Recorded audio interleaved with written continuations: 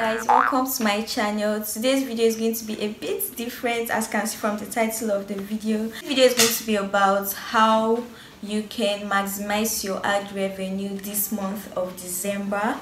And there's this campaign going on on youtube. Advertisers tend to pay more money to youtube.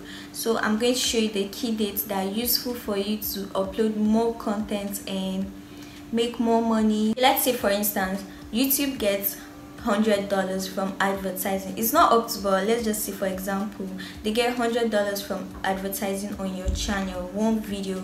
They get hundred dollars for advertising on that channel from the companies that advertise their products on your video.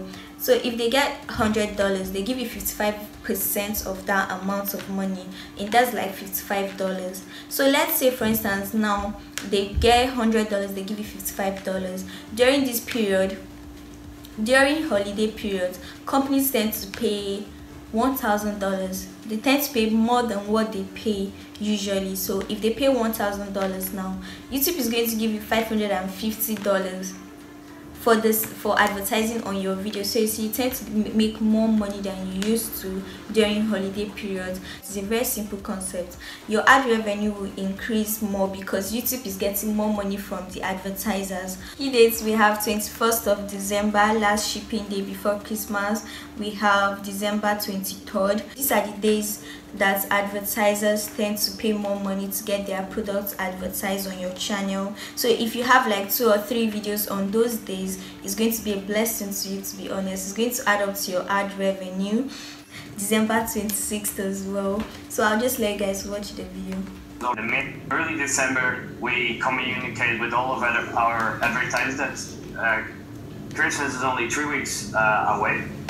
So uh, then they will set up their uh, last min- minute shoppers campaigns, and, theref- and therefore they will might even increase their budgets or keep the budgets the same. So uh, keep releasing content at this stage.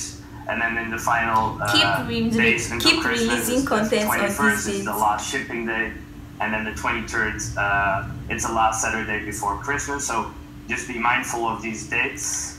And then uh, between Christmas and the New Year, we typically see that all the budgets remain the same.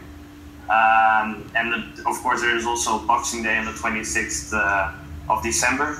And then in the New Year, uh, we typically see that the advertisers go back to their normal pattern. So the main idea is for it to upload frequently this month of December